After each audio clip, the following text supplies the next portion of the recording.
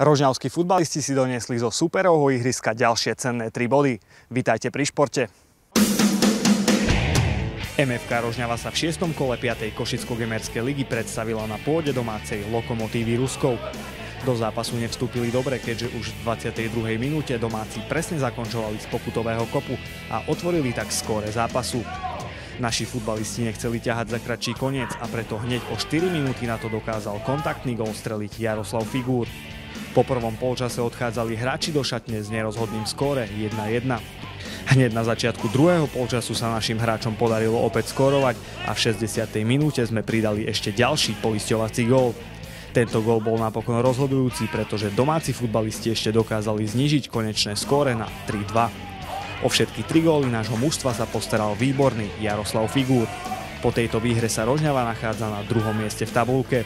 Zápas v Ruskove bol náročný, keďže terén bol vo veľmi zlom stave, ihrisko bolo tvrdé a muži nemohli hrať vlastne svoju kombinačnú hru, takže museli hrať jednoduchšie. Som veľmi rád, že si po hetriku figúra vezeme zvonku 3 body. Radosť z futbalu nám neprináša iba naše ámužstvo. V posledných zápasoch sa darilo aj našim mládežníckým družstvám.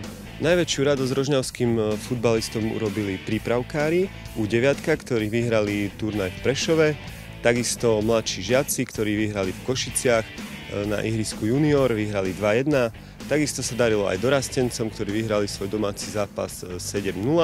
Už túto sobotu čaká našich futbalistov na domácom ihrisku najdôležitejší zápas tejto sezóny.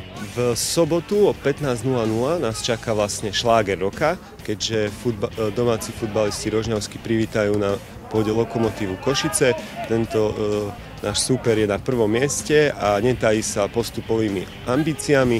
Dovolím si tvrdiť, že toto bude pre nás zápas roka, tak by som chcel pozvať všetkých fanúšikov, aby nás prišli pozbudiť. Dúfam, že prídu v čo najväčšom počte, podporia našich futbalistov a uvidia dobrý zápas.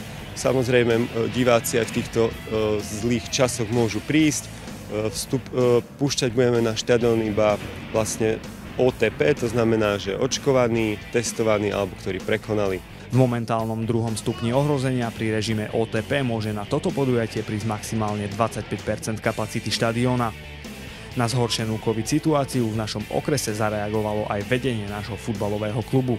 Keďže situácia v Rožňave ohľadom covidu je dosť vážna, tak my sme sa v klube MFK Rožňava rozhodli, že na futbalový štadión počas tréningového procesu budeme púšťať iba členov realizačných tímov, družstiev a takisto hráčov. E, pre rodičov je momentálne počas tréningu e, vstup zakázaný. Chceme týmto e, predísť nejakým nepríjemnostiam a snažíme sa vlastne pristupovať tejto problematike zodpovedne.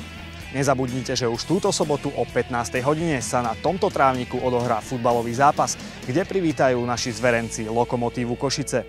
Ja vám prajem ešte pekný zvyšok dňa. Dovidenia.